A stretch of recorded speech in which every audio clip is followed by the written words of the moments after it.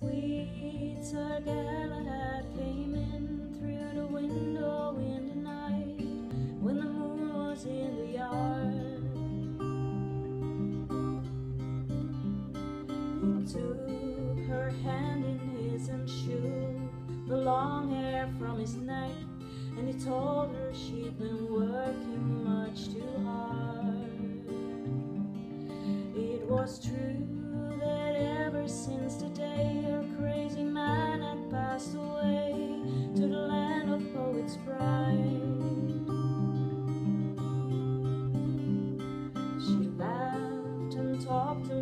lot with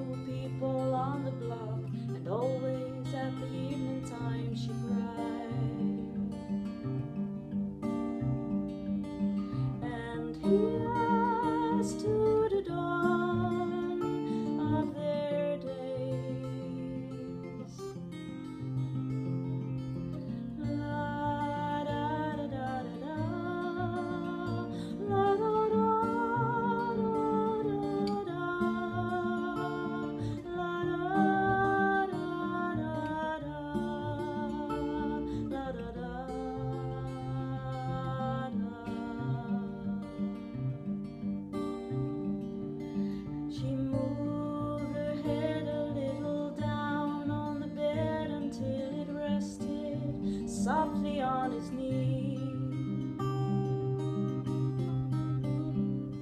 And there she dropped her smile, and there she sighed a while and told him all the sadness of those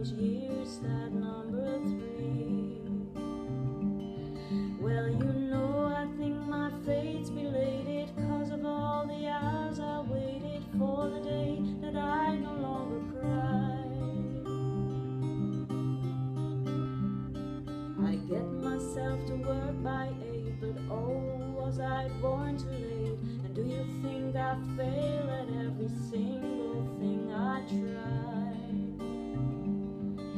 And here's to the dawn of their days. He just put his arm around her, and that's the way I found her. Eight months later to the day.